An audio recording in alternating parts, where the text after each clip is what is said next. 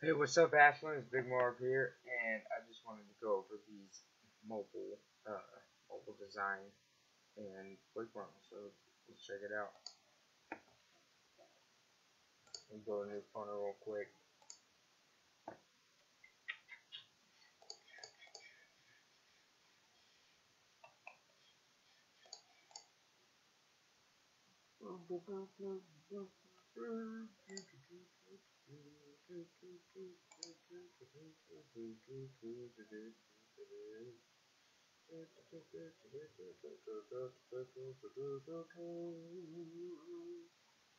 Alright. So let's say you wanted this top bar to be desktop and just this box to load for mobile. So what you would do is you would go to this section right here. You can go to settings, and then down here on the bottom it says all mobile only, desktop only, hide, get CSS info and remove. So if you leave it on all, that means it's going to show on desktop and mobile. If you put it on mobile, that means it's only going to show up on mobile, and then it's only going to show up on desktop and then you can see up here it says desktop only.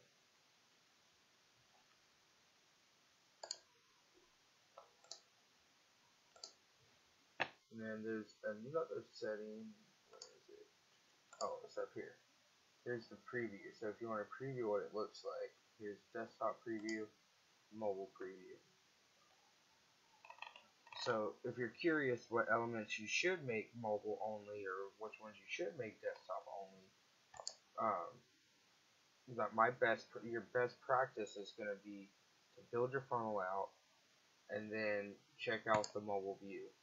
Then you can go in and say that doesn't load right on mobile. I need to change it, or I need to make a second one for mobile.